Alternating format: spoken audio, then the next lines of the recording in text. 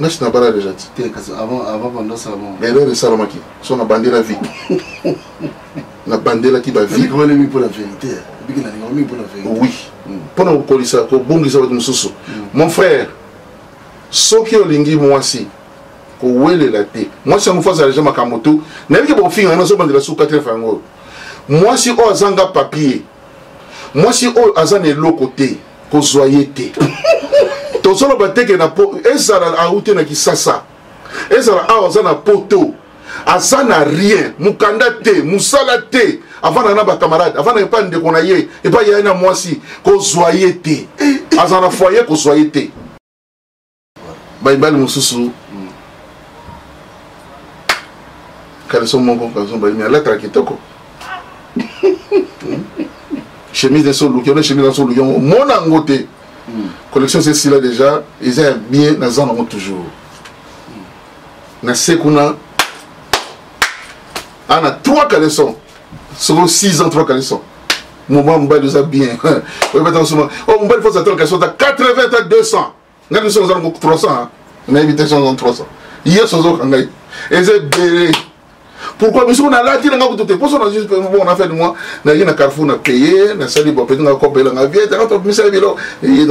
eza wana so nake na kini bakoyiba yango esila bayiba yango yibolo wana alataka te nango nalati yango so nalongoli boye moto yango aoluka place amona sali te anoyoka solo akotiti kuna aloki ayo mbala nini yo oza pede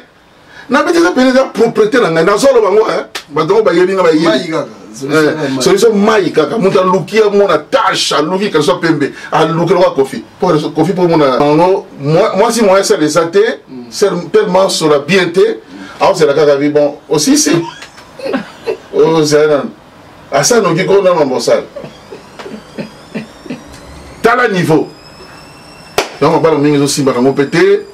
tanso mwasi moyibi salaire na ye mobali amonaka te salaire ya mwasi moyibi okuna amonaka te boyfaka na kenga eh, okuna hmm, salaire na yango hmm, wana eza nango libala te na hydrogène nasalaka moninga na yo te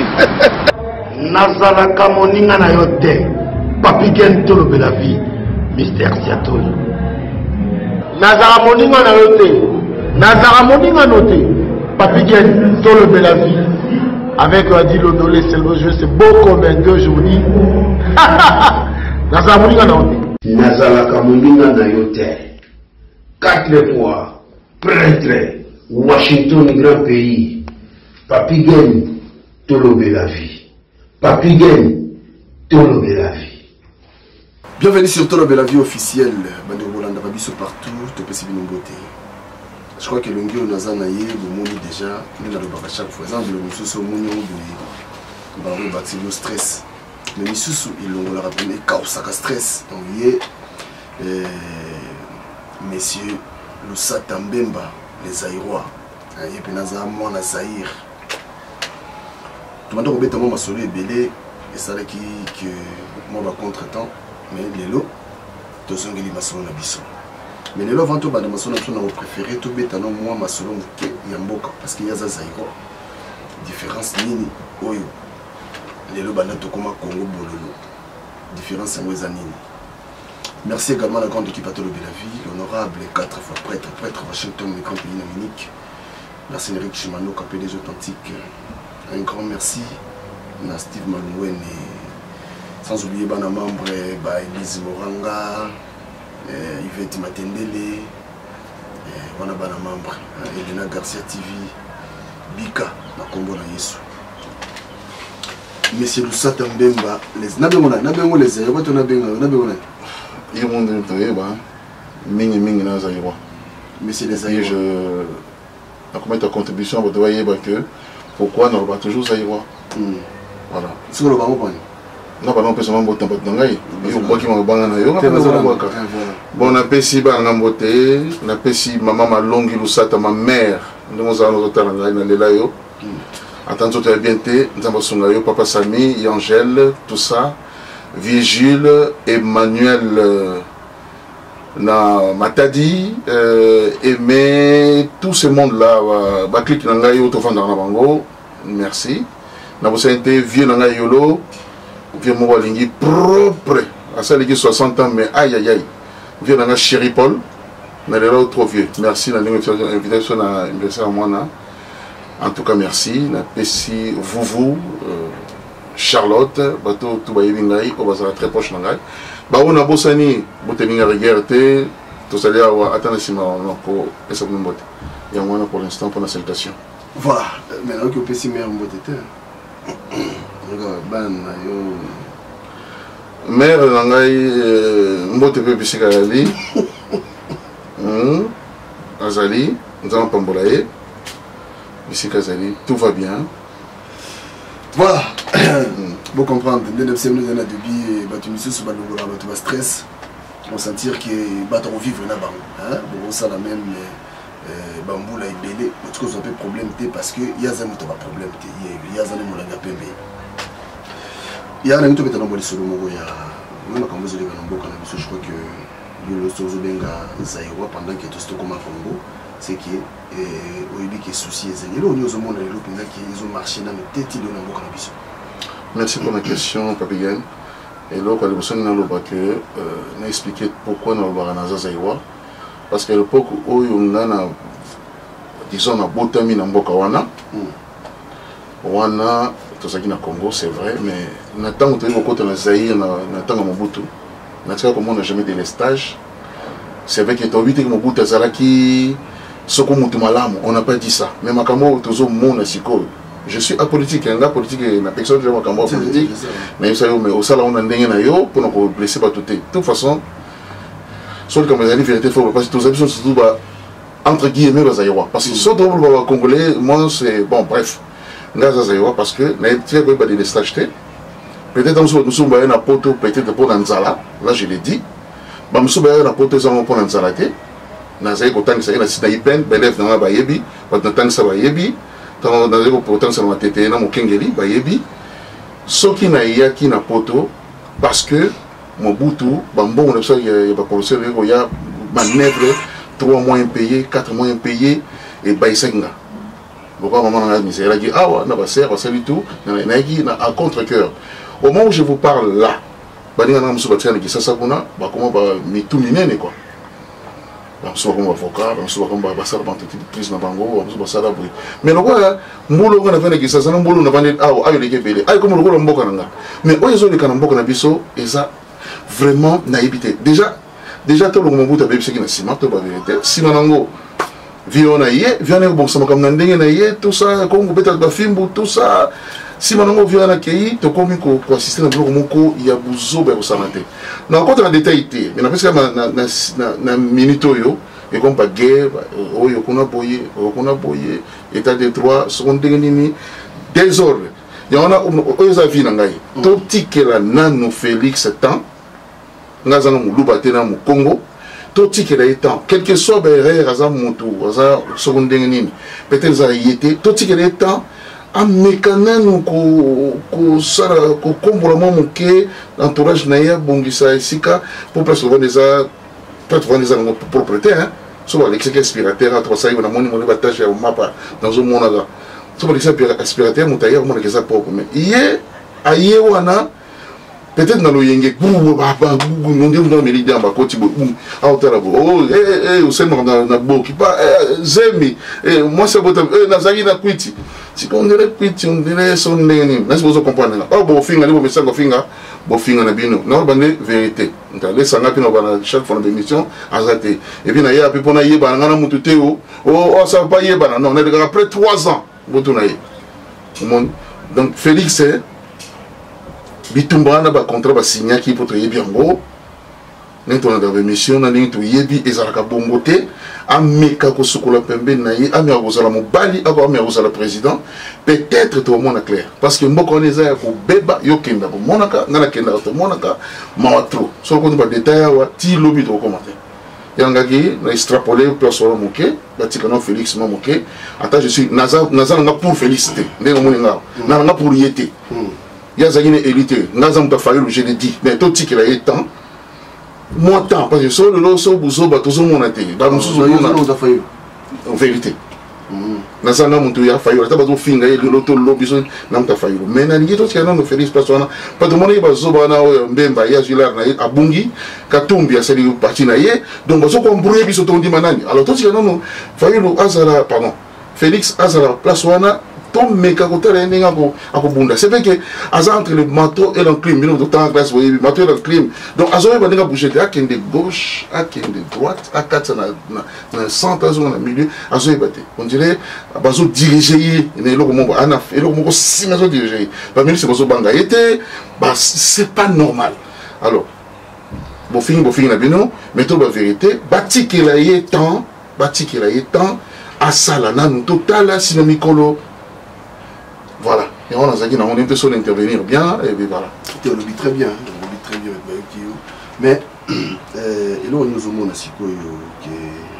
ezosimba mpenza te jusque là na wapi na mboka na bino kongo na mboka na yo mpe mboka na yo nga aza zayewa pourkoi na bino aza zayewa parce nga nayebi époque ya delestage te hmm. na époque wana savek etokende kuna basavien basiti train babisa minene ntina ndenge baclasse na badiplome yango ezomi na mpasi na nini tomeki na mpasi deja obanda eloko liboso politike eza ya kopola ya kopola ya kosangana te bamosusu baye kuna na bazandu babegani bamama na bazandu bandi kotumba koboma bato état de droit ngo tozoyeba te bamosusu baye babandi kobala pambapamba babandi kosomba babitu ya bangombe soko combien babali bamétise mokili mobimba lelo baza na baprison donc eza désordre mboka na biso eza mboka te Ça veut dire des fois je regrette, je dis pourquoi n'a pas tellement mboka en Venezuela dans Sénégal. Mon quand on est en Chine, c'est vrai que nous avons kuna pas si pesa la guitare sous na kata classe boye, moi na zama yele te, on a pesa histoire en français. Tant sous be bon, tel on a bon, moi na pas ko kati, moi na sa koli banzo te se koli bi ah on son a ticket awa. Ah, cop kaka bon na bobi nanga te cop aleki cheki loko azalaki mingi titulaire ozwa mingi titulaire ya classe nalekisi mwana na classe choix eza te parce que mpasi aleki na ntango mobutu mbi te mobutu azalaki bien attention mais mpasi oyo eza na minute oyo na kabila oyo ezalaki boye te to ba verité kabila ezalaki boye te dollar emati président azobeta masolo fa nsolo masolo ngo na ndenge mosusu masolo oyo tobonde kozela mpenza le 30 juin alobi yango te mm. nayebi ke euh, euh, ivete okosilika olinga na bapolitiki te mais limbisa ngai napesa mo parenthèse oyo limbisa mpenza nakoti na kati te nanga papi gen te omoni fo toloba so likambo ya ye eza mboka na biso mm. eza mboka na biso ça fait très mal ya komona so okei kuna oyo bato balobana batefa awa eh, eh, eh, na bainternet mingi mingi kuna batala yango te ngai nakomaka sur place bofandi mona ozosona moto boye ayebi na ye te oyo biso osanfani makambo wana tolebi na biso babomaka biso kaka nabi eza mboka na yo oyo bana tonali ye te boye na boye na boye na konti mosusu mwana bakomi na tv ezali tara mama wana okomela yango bongisa na ndako na ngai so nayeki sasa en face na nga ntango sa azowuta na libanda kuna okota boye aoluka manepi lokola ateka masanga mwasi ya bien aza mwasi ya libala ere amoni moto auti poto aye aye mpona abongisa na ngai ndako azobongisaka na makanisi biso mabe azalaki nango na bi te na bi pardon naza bandeko ya basi naza nakoki koprofite na yo boye te mm. en tout cas zwa 100 dollar koyaka soif yanaka pele 100 dollar likambo oyo vieux Gilles ayebi ba Emmanuel bayebi ba milieu na nga bayebi makambo napesa ba mwana 100 dollars abakisa bakoka na ye nalingi te parce que aza maman maman te c'est une fille qui, a, qui peut avoir euh, quoi 38 ans 37 ans moto 40 ans ya 37 aza mwasi ya 40 ans aza na aza nanu quoi mais namoni mpasi eleki ti abandi koya koluka inconnu ti esuka suka koma na balabala ba phénomène tozomona bashege bajeune fille wana basala ojana wana pourquoi basala eloko ya kolia te leta ko kovanda te mpenza asolola abongisa moto atali kozala mota mosusu tshisekedi eh, non félix bongo sikoyo na se na ye kuna ah kamera ayibi bambongo félix ayibaki te kamera asali babétise félix aza na kati wana te ata alinga na ngai na nanga moto ya fayulu mais félix sikoyo babi te oyo felisa ye traitre asundoli eh, nani asundoli kamere non felisa aza wana azala honnête azala honnête te mais tomoni makambo asali pa kamere donc quitte à nous le congolais toyeba sikoyo nzela nini tokoki kolanda vraiment ya bien félix aza wana akangi na moto ye bazali kolia lisika moko eza lokota nga noboyo oteki nga omoni ntanso ngo mama aza pepena obi ah, mama ah,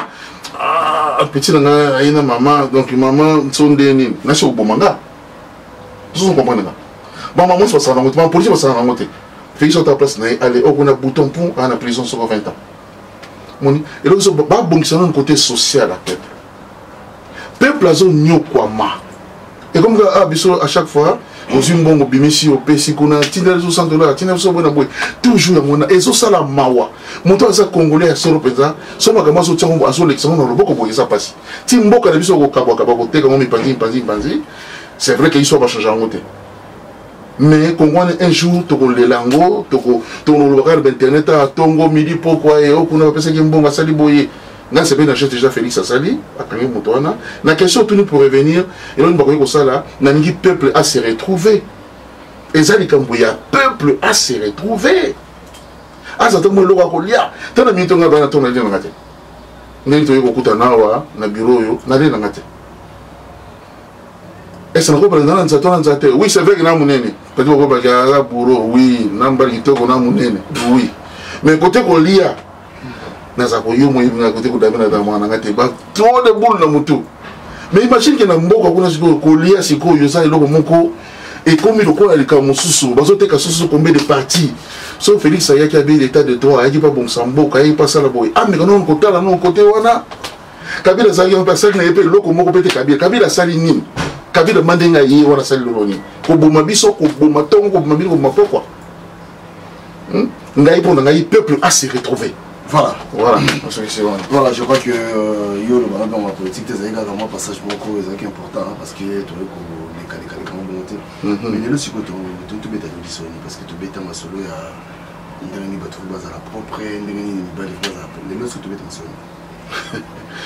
likambo bon merci likambo ya mibali bazala propre basi bazala propre tout ça tosi tolobela yango mpenza mingi tolobela yango mais lelo mpe eza mpenza mingimingi wana te peut-être ekozala l'une de cause ya baséparation ya bato mosusu bacouple mosusu ekovanda bien soki olingi moto kosupporte ye soki mpe ekomi na aire moko boye mpe moto mpe ase lache eza bien te donc ezosengaka ye mingimingi ezali likambo ya oyo tokoloba lelo eza plisplus wana te wana ekokota mwa moke extrapole mais oyo toyeli lelo oyo ya ba divorce oyo ekomi kosalama na mitema mabe ya ba congolaise natie congolaise omoni mitema mabe ya ba congolaise yango bamosusu bakomi kolukana na luka ekolo mosusu yango ngai lelo nakobeta se te avant na répondre question na yo moluba bala na yo moluba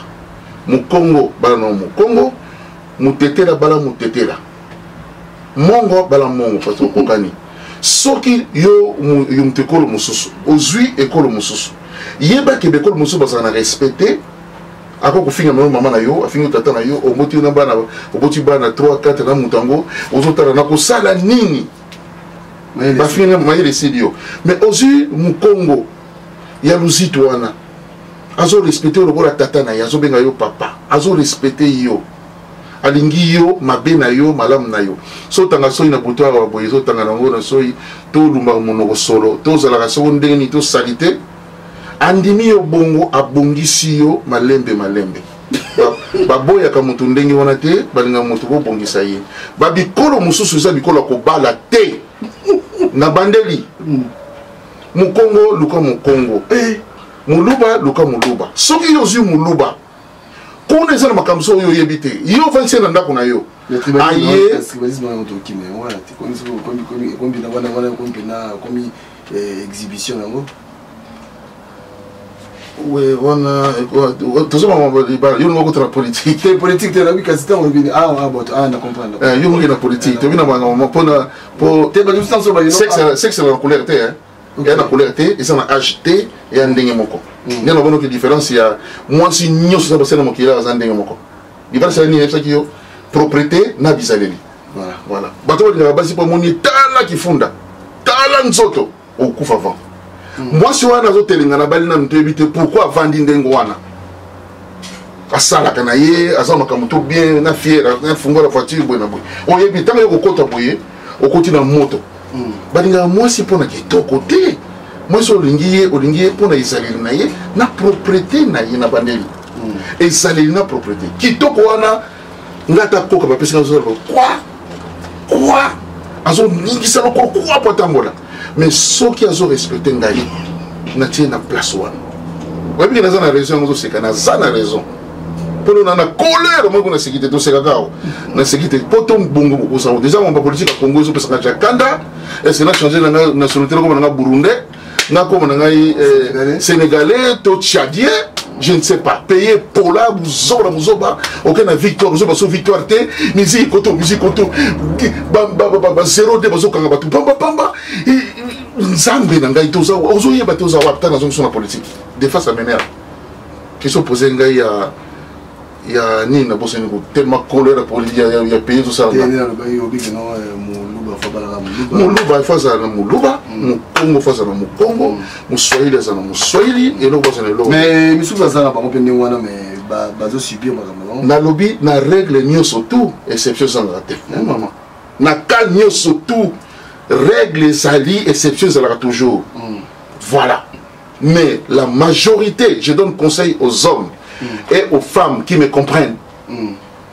bato mosusu ntanso bakoloba na bango ndenge balingi c'est vrai que les gens écrivent commentaire te faut koma totala bandoki banani wana toluka bango na bamail tokota po informatique toyebi yango bien ofinga tokoluka yo tomona numero na telefone tobengi yo mpona eh, eh, eh. mpo na mona ofinga na ndonga kutu te naomona nga kope oza kotelemela na ngai awa pakeson tabengi afingi ngai yebisa ye nimero na yango oyo luka ye na niere sur scène euh. ozwa ye mm. na makofi yo to nini mm. ah.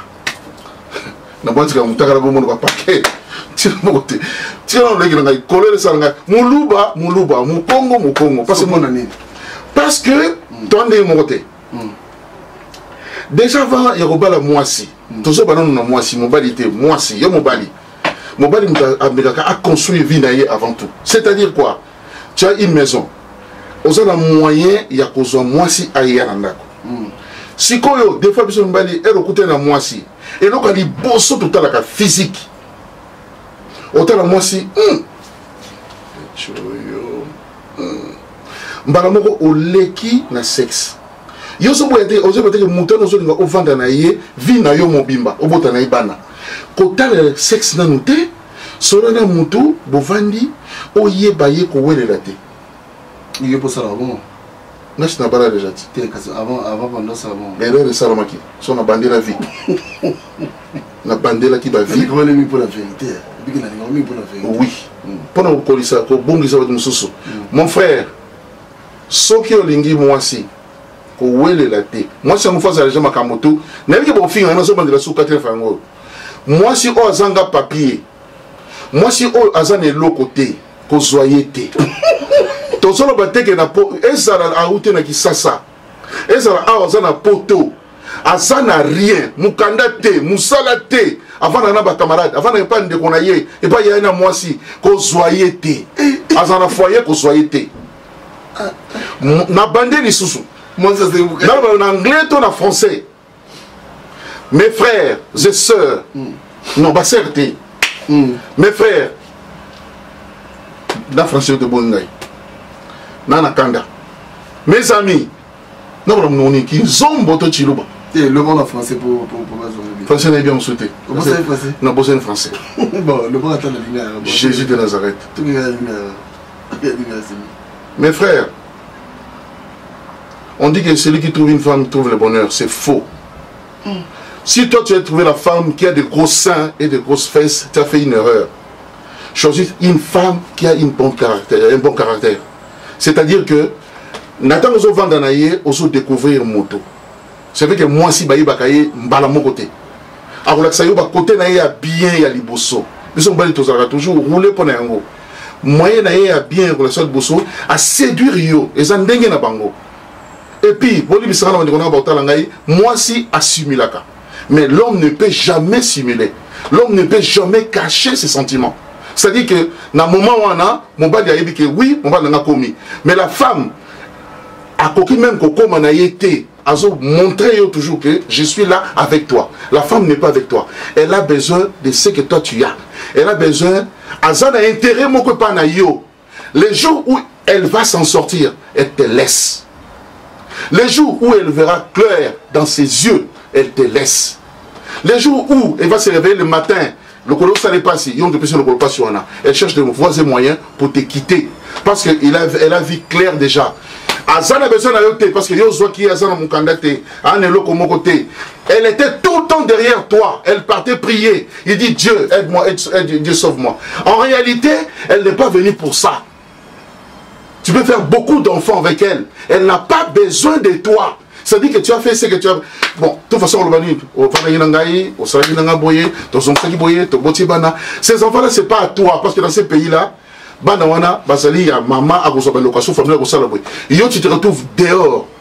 J'ai dit ça aux gens qui ne sont pas encore mariés, écoutez-moi bien. Je sais qu'il y aura de. C'est comme un débat. C'est-à-dire que la personne ne peut pas. Tout le monde ne peut pas être d'accord avec moi, hein. je suis d'accord avec ça. Hein. Mais moi, je dis ce que j'ai vécu. Je dis ça aux gens qui ne sont pas encore mis leurs pieds dans le mariage. Attention, trouver une femme pour jouer avec, ces différents. Et trouver une femme pour faire la vie avec cette personne-là. Et que la mort puisse vous séparer. Là, c'est autre chose. sinon so libala ezali kaka mpo na bana to mpo na nini oyo ndenge mosusu mais le femme congolaise j'insiste nous les congolaise naboyi kosite baekolo soso je bien de dire ici moluba na moluba mokongo na mokongo parce que toyebani toyebani baekolo naboyi nasala polemike awa ya bakongo baluba baswahili bazande bayaka baboye na boye parce muyaka na mokongo to anaso ndenge moko moto ya bandundu na moto ya basaire tozaka biso ndenge moko ya motu moko mais eloko mosusu eza différent mpo tobetaka kikongo toliaka bamisili tobongisa boye eza ndenge moko mais sikoyo oyo babala sikoyo neti eh, mokongo abala moluba moswahili abala eh, mongala sikoyo basuka nalobi boye landanga bien loto libala yango lobeli moke eza sufoma loto soki bato bavanda na bango na ndenge wana esimbi premier te na bino baka nyonso tour exception ezangaka nango te na baka nyonso tour attention na généralise te parce que les gens qui sont là Celui qui veut m'insulter, je, te dis, toi que je regarde, que tu me regardes là. S'il veut m'insulter, essaie d'appeler Papi Il va te donner mon numéro perso. Et là, on peut avoir un rendez-vous pour qu'on puisse parler tête à tête, face à face. Comme ça, on va essayer de régler d'autres problèmes qui t'ennuient. C'est que j'ai parlé ici. côté politique côté makambo nazoloba awa on peut se voir on discute je pas dit forcément pour euh, pour tobeta tobunda non non j'ai pas ce temps là moi si nous sommes dans jean claude yena ipene ke kotala na na bac plus 5 na sisa licence na ngai epuis natangisi 2 ans naye na poto nasali famille na ngai mwana na ngai shani aboteli na bakoko mibale akomi na 32 ans somo tafinga eza moto ya nzala te ande kaka motu moko boye oyo bakomaka na nsima wana azobanga na ye makambo azokoma azofinga ye eh, boye na boye ntango komona motu yango mpe boye nalinisaka kutu akoma na ye te sebe nazokoma mpasi bakongole toya ndenge wana hmm. na bande kambo naloba parce que eza très important yango toyeli ya opesi nga kanda na kambo baye deja donc masinga tana bolotoka hmm. soki omoni nde tobi baka nyonso tu barègle ezongaka enfin baexception ezongaka te na barègle nyonso moto bakobali na moto na bavandi na bango tout ça mais ngai nazoloba na bato oyo nanu bakoti te première chose bo retenir mes amis mwasi oyo aza na mokanda te mwasi aza na mokanda te ifo bosolola bien bokovanda na ye pourquoi parce que ntango akozwa mokanda ntango okende na foyer ye nde moto akolakisa yo ke ah azolinga koma chef na yo bikolo mosusu yali azolinga yo mbala oza te okoma boye na sisi te bato nyonso bato bakuta okufa na kotanga na bakoma na mwana adresse na bango bato okufa na makambo na koloba hmm. akolakisa yo moto ana mokanda te kozwa ye te tika ye akozala ne kitoko mama excuse moi ya jeune limbisa nga akozala na ye masoko kitoko tai na ye bien forme azotambola mbele bazotala mais yango wana te moto esali libala biso mibali totala liboso yango omoni mwasi omoni tula bao yango ah, ah, ah, tozokufa ya mibale hmm. ndako aza nango te azala epa moto ya misato badepense na ye nyonso tu ebanda na se kuna ti likolo eza yo yo mpe ozobundabunda oza na ndako na yo ofutaka so ozwaka 1200 so 1300 ozo ndako na yo oyo kofuta ata moke courant mai osala boye ye aza wana abanda kotungisaka yo kaka abeyoka sheri sheri mon bebe mm. mais ntango okofungola ye asukoli nini oyo abongi olakisi nde bafungolaka compte na banque eh, bacompte na banque makambo tu olakisi euh, médecin mm. assistance oyo babe yango nini bamédecin traitant akote mm. médecin traitant mm. alors famille na yo mpe eyambi ye elingi ye basangani na ye akomi ale nsima nango abandi kolakisa yo sikoyo soki kasi omwasi kaka azwi kaka mokanda ba moi sikoyo asita mosuku peut-être ndako na nkombo na ye ba mes amis tokeba na bikolo mosusu na bandeli bikolo mosusu eza nango baekolo te vieux richard vieux nanga moko boye natangi richard koma mbongo te natangi kombo ya richard c'est tout mm. vieux nanga wana akutana makambo mosusu ya mike mike ebi nayebi vieux mosusu awa abengisaki mwasi bavandi mwasi sikoyo ere afungami miso eza histoire vrai notango komba famille batoa te na bona zoba represai après mm. mwasi ya ye mwasi ya pingami akoti abengisi bandeko na ye mobali akomi papier na ndako na ti ntango vie akei na hôpital vie abi na mwasi te kaka ye wabie kaka nga ko boye na boye nafongola voiture na boka boye vie akufa mwasi siko azali azokonye ndeko na mobali abenga bi vie benga papi gen bosono makambo tosunga bato tosunga bato mosusu wana leki na mobali abenga nayi papi ken awa papi ken mikolo nga naza moto te naluka na heure bete nde mpo nayebana esala ndenge na nga te na ndenge tobenganaki te mpo eza surtout likambo ya peti na nga wana ya na ye akufi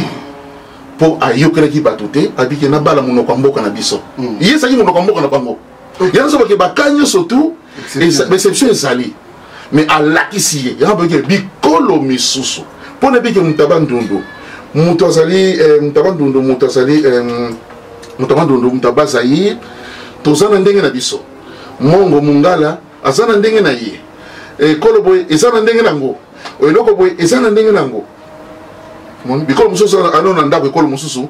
tia na motu Euh, yango wana mpe tosalaki tokutana so tomeka koloba mpona kokebisa kaka mm. bajeune garçon bamosusu bakoloba ata mosusu kiono nalingaka bana basi te nalingaka bango te yango toujours sonele bemission na ngai wana nabetaka basete oui nabetaka basete na mwasi na mobali mpo la semaine passé babemission eleki eleki na ba 2016 wana soki sete so nabosani te nabetaki sete ya mwasi na mobali mwasi oyo salite mobali salite mwasi kuta abenga na telefone abiki papa bandi kolela mobali na ngai sali mobali kitoko me kaleso kaka moko kaleso ebeba alingi kosomba kaleso te salite nalembi kosukola kaleso mwasi azolela omoni nakotelaki bamama ekabenganga mpe abinanga na peso merci parce que abi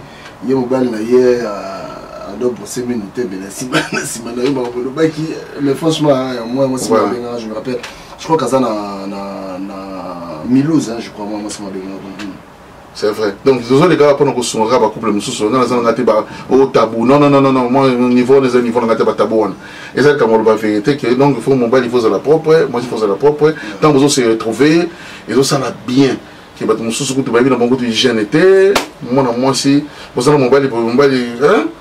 bon tika kaka nakende mwasi ka bon nalingi ye kaka bon ah, tata bana nga oyebi mais sikoyo bato balingi bazongela nini wana mama azotala ngai ifete otala ngai osilika osilika te ah, mama mama kosilika te tozoteya mama kosilika te baibale mosusu hmm. kaleso moko kaleso balimi alataka kitoko chemise na so oluki ona chemise na so oluki yango omona yango te hmm. collection se esila déjà eza ya bien naza nango toujours hmm. na se kuna ana trois caleson soko 6 ans tiva caleçon moma mobali oza bien oyebi ata kosoma o mobali fo ozatala caleçon ta 80 ta 200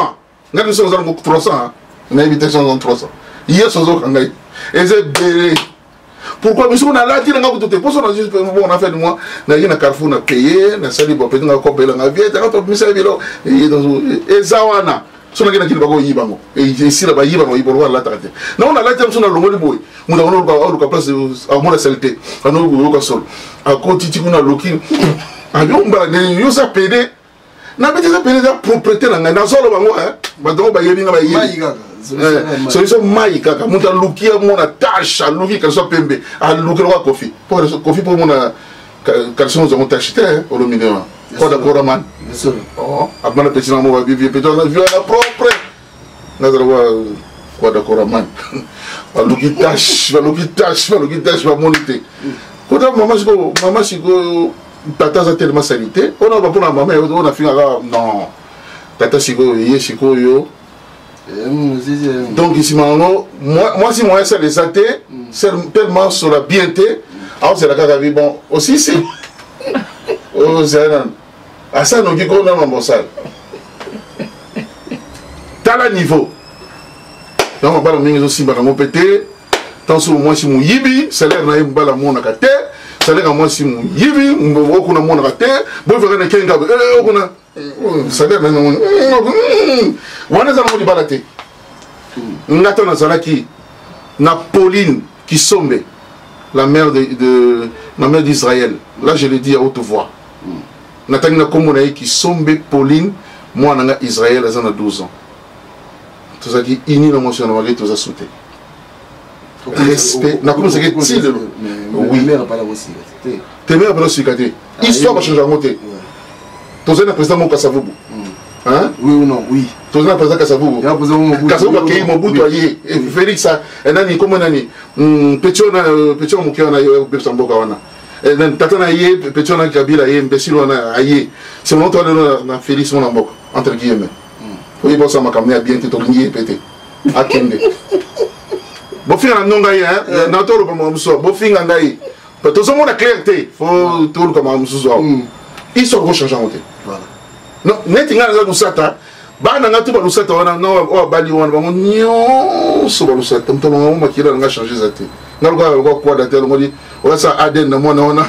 abosala adn nini makila eza makila nayo mon histoire on peut pas changer ça voilà siko tozonga euh, euh, tozonga bon wana eza conseil mo eza gratuit hein tozonga biso na conseil wana eza gratuit eza que moni propriété eza eza art hein parce que misu apesa mpe basengo subiste donc euh, mambo oyo ezolobama awa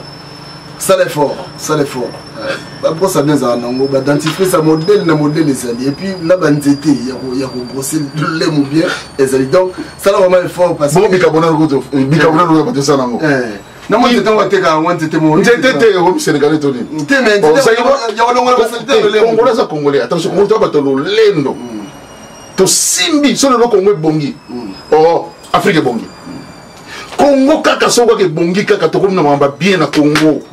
yaya bicarbonate mpe eza nango bicarbonate eza nango eza soko nde ero citron mpe eza nango hmm. sosolo mapekeliki mingi oyebi ndenge kosala hmm. nayebi te ngai kozwa mwa solo te ante ah, donc déjà ntango avanda okima yo moko déjà okima okima oh, mwasi asali te okima oh,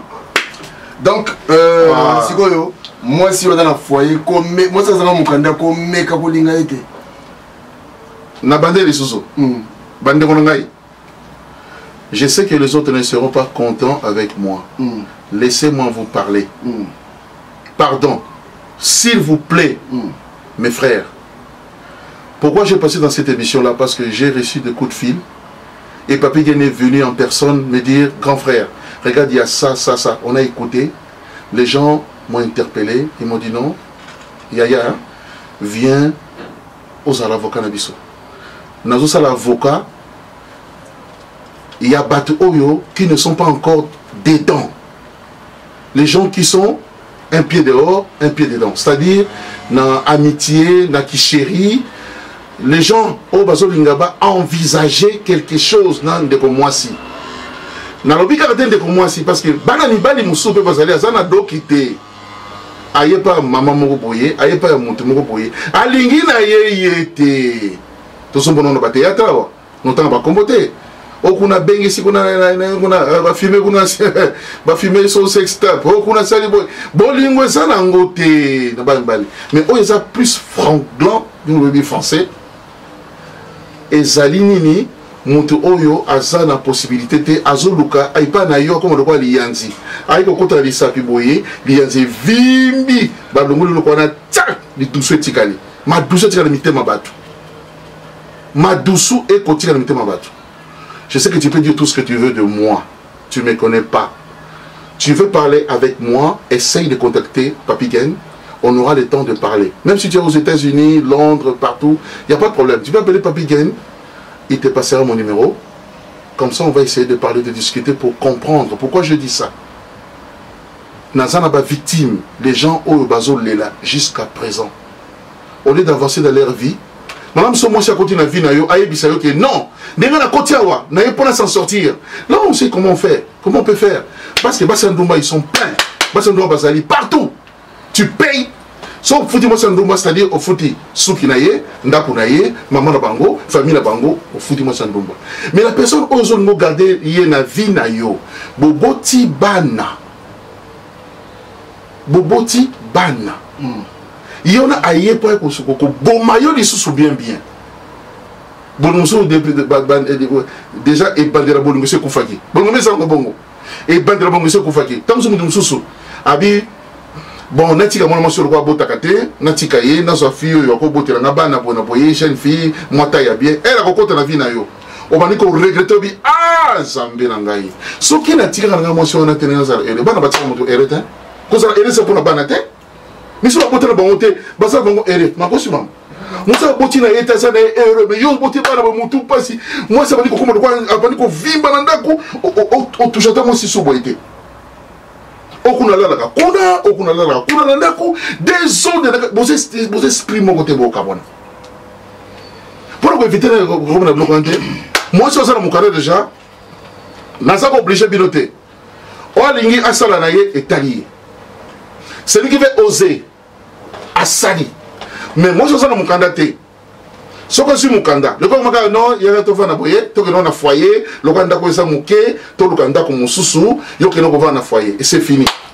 soki mwasi wana abimi bandeko na ye hey, eh, bikolo mosusu nzambe na ngai esili yo oza so na valeur te heureusement leta azali e soki monaki mambo eza claire te oke na leta sololi moto mpe akolingaki mpe kasalaka na ye mpe te avandi avandi na ye osala makambo nde mosusu ayebi ntango kosala tosala kibi na ye bamablonga pampamba ya leta to mayele ti liba totikaka oyela vpv nanga omoni donc bandeko nayo nazopesa bino conseil moto ana mokanda te keba na ye kolinga mwasi te mpo omoni ye nzambe asala ye bien baforme bien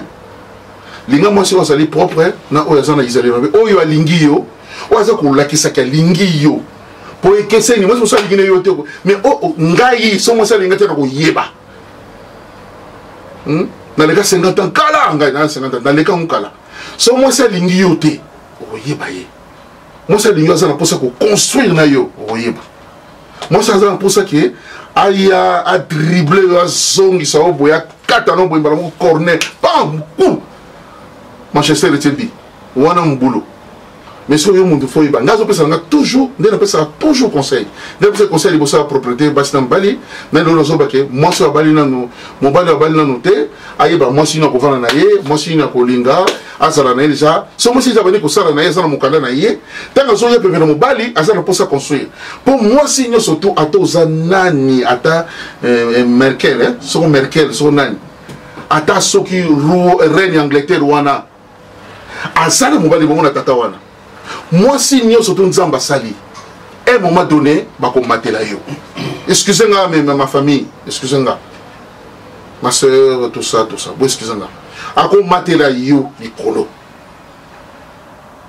mwasi nyonso nzambe asala amweki azala mwasi te po basi omona moto mwasi maza mwasi te mwasi oza na souci ya avenir na ye lobi fo na bala na kitoko oui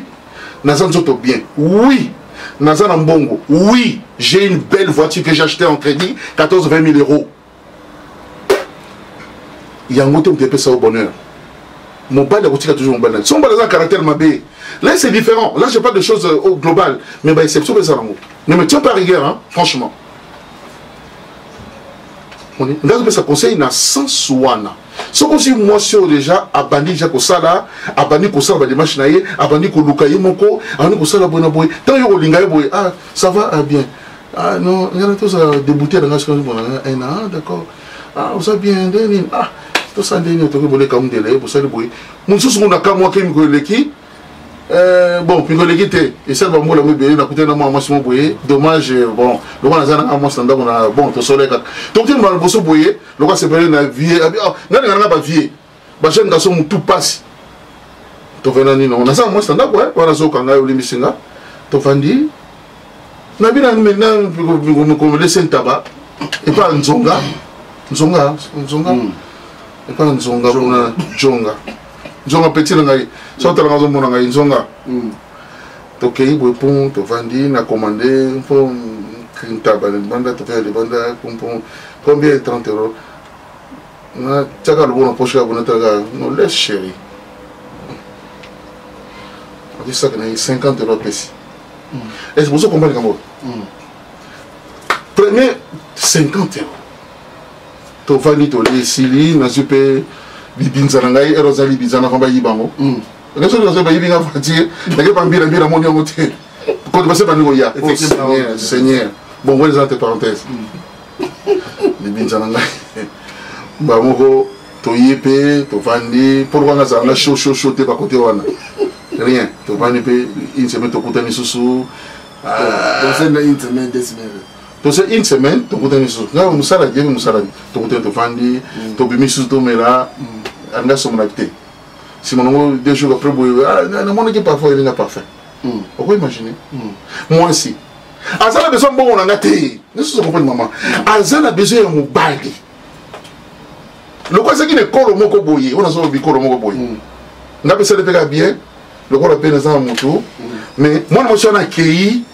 parce que ekolo elobi mais atika koregrete yango lokola likambo mikolo soki bani badeba oyo bato bandima te bacontracte oka mpona komi na kolera awa voilà je crois que euh, sujet oyo tozongelango amoni balingaka boye moi na biso bino na tobiki awa stress ezalaka te omona mpenza stress nyonso parce qu'il faut seka mais ntango oseka wana ayebaki makambo oyo elobama eza makambo basolo parce que c'est vrai que mibali mpe ebele tilo bango bapesa basi te bango bisi te c'est vrai que basi ebele mpe bakopesa mibali bango bisi te mais sikoyo qu'est ce qu'il faut faire donc contacter biso toyebisa yango yango facile yango awa liboso nayokaka tokomi na suka mwa deux personnes babote mpo tosilisa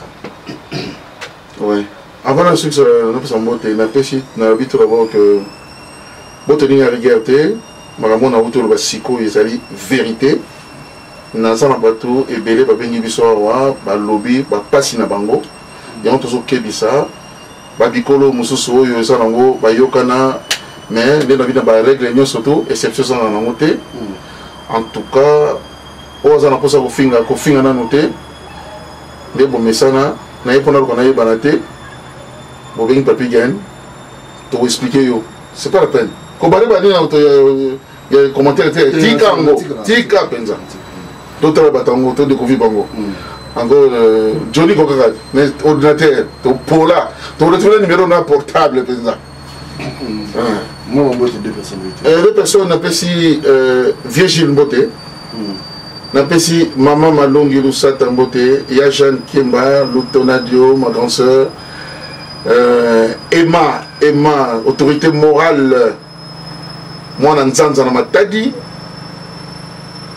aimé emmanuel tout ce monde là teyo tout ça tozala bien tomesana na vie na ngai yolo vie moko boye aleka 60 ans mais propre on dirait mwana 15 ans banza 15 ans kokate na yoro sud hein biso na yoro ba Dallas voilà euh, merci na bino nyonso bolandi biso papi lero quartier limité formule ya suka merci soki olingi eh, émission oyo obenga biso encore mais nayebi ke tokodeveloppe so parce que makambo koloba eza mwa ebele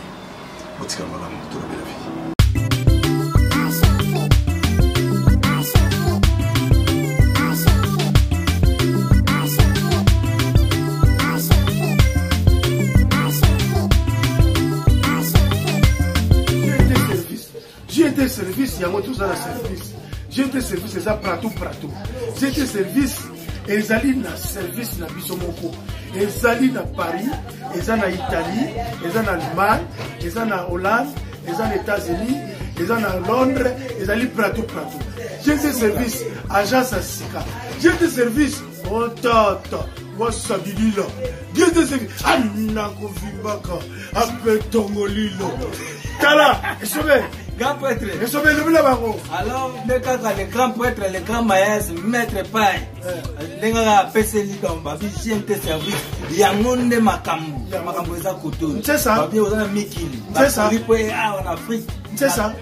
précisément congo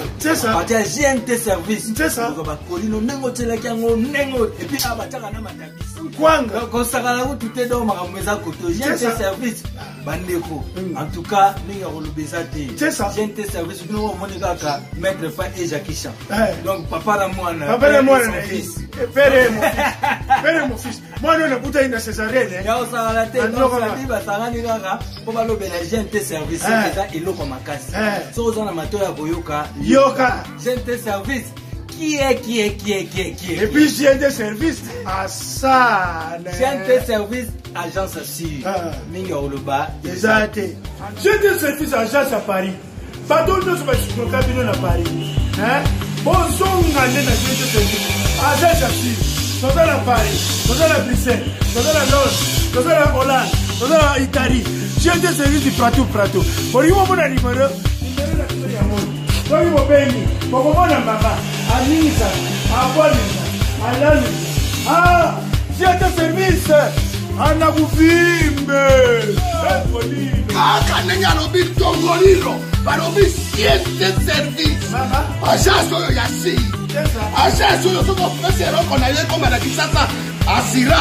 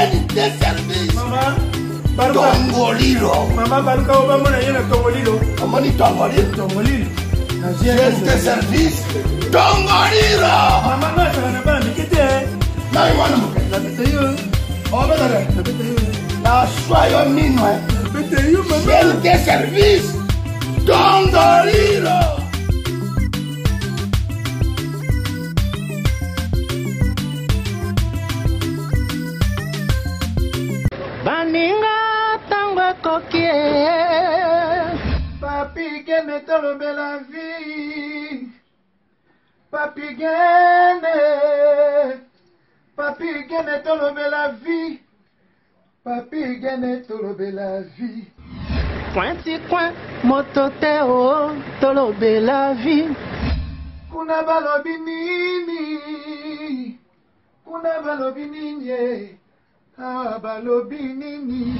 Veut dire, tolobela vie. Papi Gene. Papi Gene, tolobela vie. Papi Gene, tolobela vie.